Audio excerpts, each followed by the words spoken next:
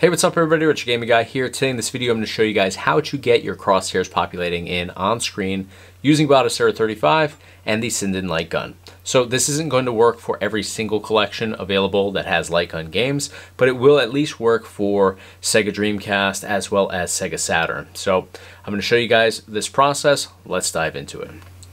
Alright, so I've just loaded up Batocera here. I have my Sinden Light Gun plugged in. So when we go into our collection, I'm going to be demoing Sega Saturn first. When we go into our collection, we're going to go over to a light gun game. So here I have Virtual Cop 2 pulled up. I'm going to hold down the button I would use to make my selection on here. So if I was on a PlayStation style controller, it would be my X button. I'm on an Xbox One style controller, so for me it's the A button. So I'm just going to simply hold that down on my gamepad controller. That's going to pull up this menu right here. We're going to navigate down to options towards the bottom, and we're going to select advanced game options here. This is going to open up all of our different options for this specific title. So if we scroll all the way down to the last section, you're going to notice that it says light gun here.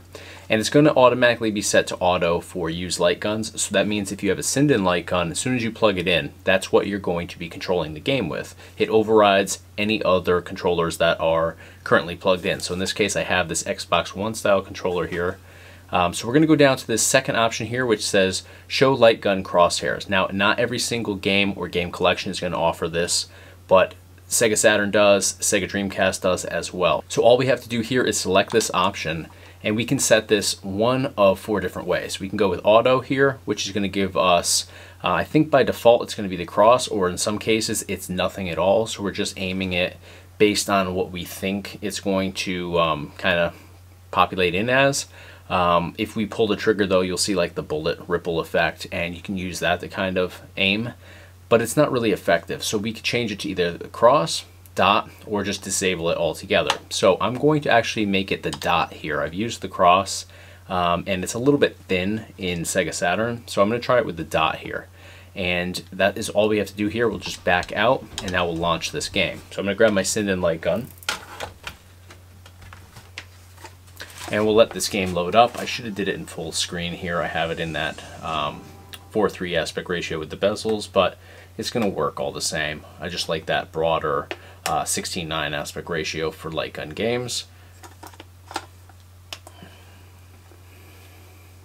So you can see on screen, I'm already tracking. The dot's already populated in.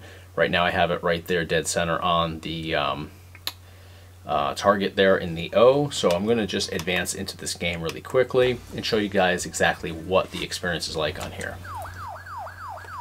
Let's go!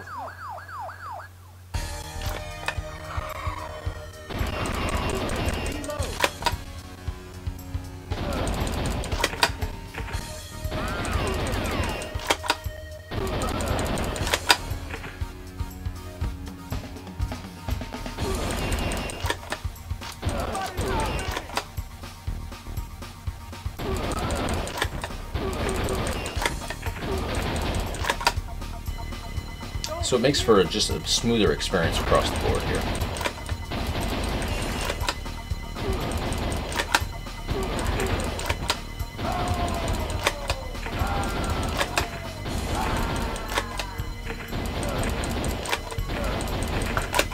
Alright guys, you can see from this process, pretty straightforward and easy to add these uh, crosshair options on screen in your retro video games here on Batocera 35. I imagine with future updates, we're probably going to see this available on more collections.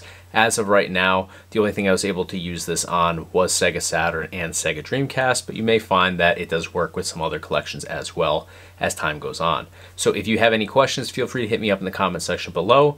Be sure to also leave a thumbs up on the video if you found this information helpful, and of course subscribe to the Retro Gaming Guy YouTube channel by clicking the subscribe button below. Thanks for watching, I'll see you in the next video.